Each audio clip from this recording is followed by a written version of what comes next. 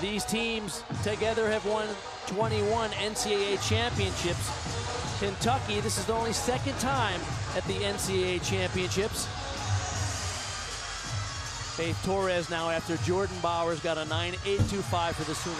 Look at the height on that wolf jump. She has such great amplitude on beam, really elevates those leaps and jumps. Side aerial to back nice. layout step out, very difficult acro series.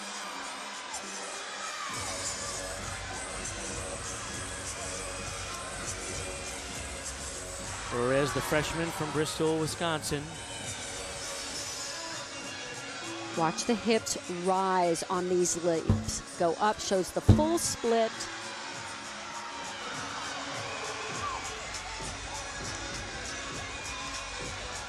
Dismounts a one and a half twist.